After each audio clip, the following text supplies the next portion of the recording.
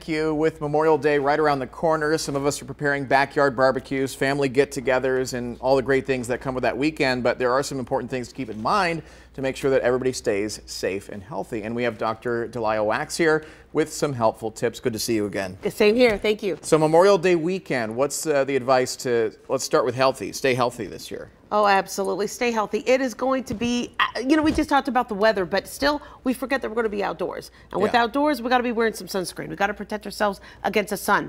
SPF greater than 30 if you can. Apply it every two hours, about a teaspoon per body part. Okay. Rub it in and reapply every couple hours. I get I get made fun of so much on the golf course because I put so much sunscreen on, but it's okay. I'm, I'm fine with, with my friends laughing at me because Yes. I'm the one who doesn't get burned. Absolutely. You know? And you got to leave it white on your nose. You You, gotta got to leave leave, the white right patches. yeah. And then let's talk about uh, staying safe. Uh, you know, a lot of people have pools, backyard pools uh, Yes. in Las Vegas. There's going to be kids running around. There's also going to be barbecues nearby, so you want to prevent fires and drownings. Oh, absolutely. And, you know, transitioning from the sunscreen, we spray sunscreen on ourselves. And then we go to the grill. So we've heard Yeah. of some people lighting themselves on fire because of the sunscreen oil and the Really? grill. So you need to be very, very careful. You don't want to, I would rather you use the lotion sunscreen. Keep kids away from the grill. Everybody wants to grab the tomatoes or the kebabs or the burgers. Hot So, dog. yeah, the, or the hot dogs. so you want to make sure you keep the grill outside, not under an awning.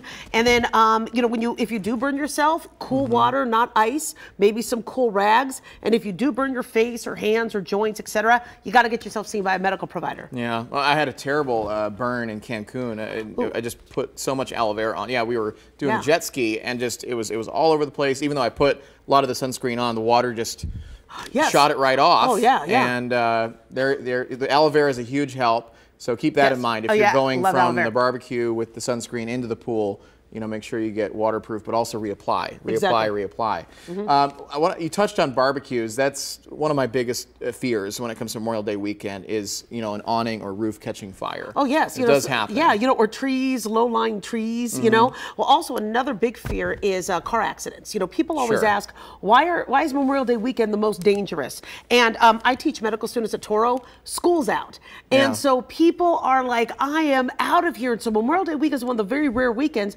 and then everybody is like leaving, and they leave at a fast speed. And so we need to be careful of traffic safety as well. Try to leave a day or two early or a day or two later to avoid the traffic. And if your car isn't, you know, as well uh, taken care of, it could stall. So make sure you have plenty of water and Mm-hmm. first aid kit in the car. Any other advice that you have heading into Memorial Day weekend? Uh, just have fun and Yeah. enjoy yourself. It's going to be a rough summer. So yeah. you mean with the temperatures? Because we already had 105 hit Yes. at the beginning of May. Yeah, 100, 100 and stupid. I love that. 100 and 100 stupid. stupid. Oh man, it's going to be hot. Oh, time to retire the golf clubs until it gets a little cooler. Yeah. Thank you for coming on. Anytime. It's always Thanks for having seeing me. you, my friend, and we'll have a lot more to come on Wake Up with the CW after.